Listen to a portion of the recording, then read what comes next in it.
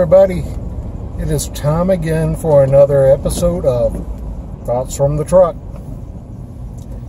You ever hear how people call themselves unicorns?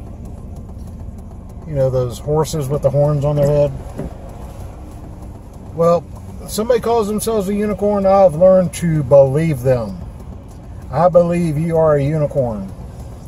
The main reason is both the unicorn and the person calling themselves one do not live in reality.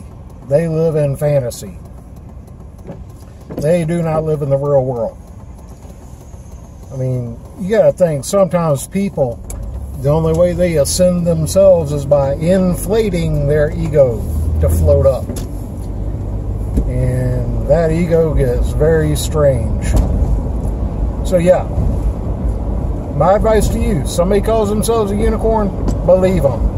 Now, it's up to you beyond that if you want to stay around that and live in their fantasy land, or do you want to come on home to the real world? Because this is where we live, is in the real.